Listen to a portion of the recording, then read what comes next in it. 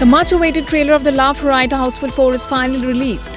Having huge star cast as superstar Akshay Kumar, Ritesh Deshmukh, Bobby Deol, Kriti Sanon, Kirti Kharbanda, Pooja Hegde in lead roles, the trailer presents an epic reincarnation comedy. Sharing the trailer, Akshay wrote on Twitter, कौन होगी किसकी पत्नी और किसकी भाभी होगी किसकी बीवी एक एंटरटेनमेंट कहानी ला रहा है Housefull four About 4 minutes long trailer shows a crazy story of confusion. It shows the two timelines of 1419 and 2019 running parallel to each other. Akshay and Bobby are warriors in the 1419 timeline. Riteish is a dance teacher by the name of Bangru Maharaj. Pooja, Kriti Sanon and Kriti Kharbanda are pretty princesses. In 2019, the characters set out to uncover the truth about their past while engaging in peculiar humor and random sword fights. Rana Daggubati plays the antagonist in the film and Nawazuddin Siddiqui's surprise package in the film. Comedians Chunky Pandey, Johnny Lever are there to add level to humor.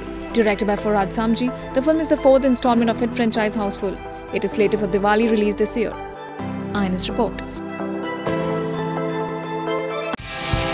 Subscribe to our channel. Just click on the bell icon for all the latest updates.